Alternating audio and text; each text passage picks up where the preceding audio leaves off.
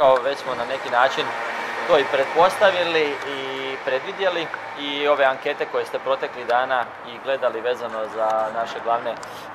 ekonomiste, kako banaka, tako i pojedinih znanstvenih e, institucija, manje više su svi bili negdje u toj razini, dakle kako smo i očekivali da će ponovno biti e, negativna stopa, dakle pad, ali da neće biti onako visoka stopa pada kao što je bila u drugom tromjesečju 15,4%, što je i zdravorazumski jasno, ne treba tu biti nekakav veliki makroekonomski stručnjak, obzirom da je u drugom tromjesečju ipak gotovo polovica tog tromjesečja bila potpuni lockdown za razliku od trećeg tromjesečja.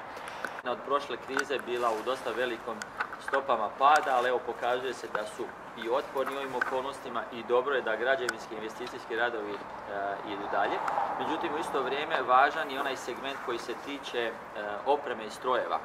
E, pad tog segmenta, dakle investicije opreme i strojeve je nešto manji nego što smo ga mi očekivali, dakle bolji od očekivanja. Dakle, kad nekako sumiramo ovu domaću potražu, osobna potrošnja, malo lošija od onoga što smo očekivali, investicije malo bolje od onoga što smo očekivali. Kada gledamo izvoznu komponentu, odnosno neto izvoz,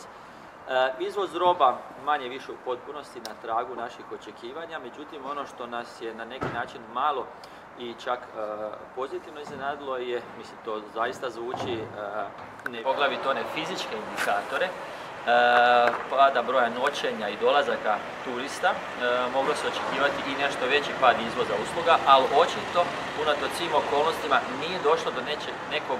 značajnijeg još dodatnog pada potrošnje po glavi turista. Odnosno, tako da taj pad sigurno da je veliki i, i jako ovoga, zvuči jednostavno e, nevjerovatno, ali s druge strane e,